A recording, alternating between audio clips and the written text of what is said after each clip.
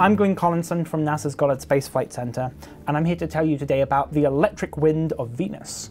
So Venus is cool. Venus is awesome. Venus is, in many ways, one of the most Earth-like planets that we know of.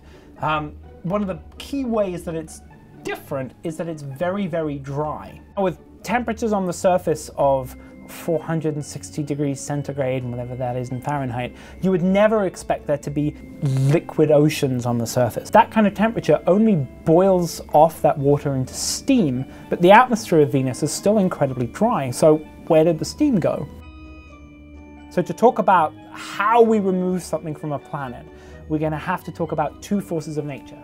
Firstly, the force of gravity. Gravity is the thing which is holding you down to the planet. But if you think about it, it's also what is holding the atmosphere down onto the planet as well. If I want to remove some of the oxygen from the planet, we have to overcome that gravity. So to do that, I want to talk about the electric force. It's the thing which your device is using right now to pump electricity around its wires, right? It's pushing the electrons around the circuits. And what we think can happen is that the electric force can help push on the ions and the, you know, the, in the upper parts of the atmosphere, push them off and up into space. So just as every planet has a gravity field, we think that every planet has a weak electric field. So we went looking for Venus's electric field, and boy oh boy did we find it. It turns out that Venus's electric field is at least 5 to 10 times stronger than at Earth. It's a monster of a force. It can rip heavy things like oxygen straight out of the upper atmosphere and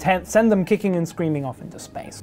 So this really changes the way we have to think about planets, because it turns out that planets can lose heavy things like oxygen to space entirely through electrical forces in their ionospheres. This is something that's really important if we want to go looking for exoplanets, for habitable planets around other stars.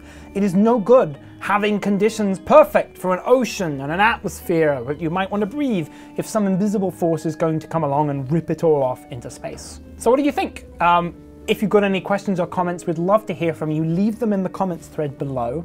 Um, don't forget to hit like or subscribe if you'd like to hear more about what we've been up to. So I'm Glyn Collinson from NASA's Goddard Space Flight Center.